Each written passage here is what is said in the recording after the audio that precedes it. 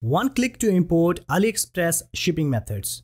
If you have AliExpress dropshipping store and you dropship your product in more than one country, creating a shipping zone for each country is very hard. What if we can import all AliExpress shipping method without creating it manually? Hey guys, Rana here and in this AliExpress dropshipping tutorial, I'm gonna show you guys how you can import all AliExpress shipping method directly into your dropshipping store with one click. Awesome, right? So without wasting more time, let's get started and now let me show you how it's done.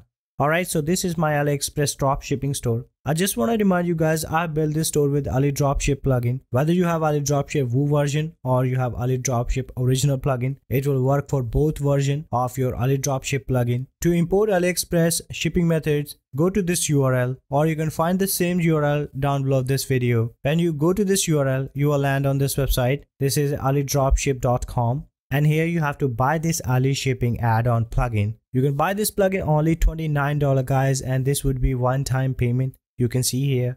If you use this plugin, you can offer your customer a wide range of shipping options. With that, you can provide a best shipping experience to your customer. Not only that, you can save your time as well. Instead of adding shipping methods manually on each product page for different countries. I call it Lifesaver add-on if you are running AliExpress dropshipping store with Ali Dropship plugin. Okay, so this is must have plugin guys. Go ahead, buy it. In order to buy it, you know, you have to click on buy now button and here you have to type in your email and your payment information and complete your order, right? Since I already have this plugin, I'm not gonna buy it again. So I'm gonna close this out, go back to your dropshipping store. I assume you know how to install a plugin. If you still don't know, let me show you. Go to plugins, click on add new, Click on upload plugin. You will get your plugin as a zip file. Drag and drop your plugin file. Click on install now button. In the next page, you will see a activate plugin button. Click on that, activate your plugin. This is how you install and activate your plugin.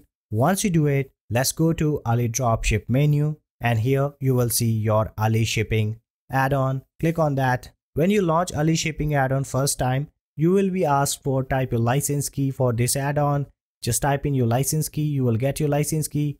At your email, type your license key and activate your Ali shipping add-on. Once you do it, your Ali ship add-on will work just like it. And now you will see two tabs, upload tabs and shipping methods tab. If we look at the uploads tab, here you will see three buttons. If you click on first button, you can import entire shipping method of AliExpress for each product that you have in your drop shipping store. Next, we have this button right here, add to new product. That means if you have recently imported any product from AliExpress, by clicking on that button, you can import AliExpress shipping method for that recent product. By clicking on this button, you can remove all shipping method from entire product that you have in your drop shipping store. Next, we have shipping methods.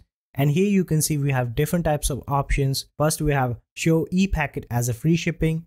If you enable this option, that will include e-packet shipping cost in your product price. So I don't really like it. I'm going to uncheck it. Okay. Next, you can change these levels if you want. I'm not going to do it. By default, these are the good one. If you scroll down, you can see we have entire shipping tables right here. So guys, if you see AliExpress label anywhere like this, just remove it.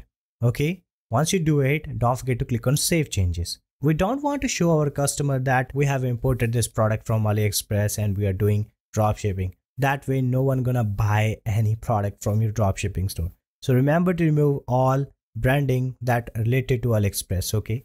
If you see AliExpress word anywhere, just remove it, save it. And of course, if you don't like any shipping method, you can remove it, okay? So I'm not gonna do it. So let's go back to upload tab just click on continue update. It will import entire shipping method of AliExpress into our drop shipping store. Alright, once you import all shipping methods into your drop shipping store, so now let me show you how it will appear on product cart page. So I have imported this product from AliExpress, you can see. So I'm gonna copy this product page. I'm gonna open a private window. So now I'm seeing this product as a customer. Let's try to buy it. Click on add to cart, click on view cart, so here you can see the entire shipping methods that we have imported from AliExpress.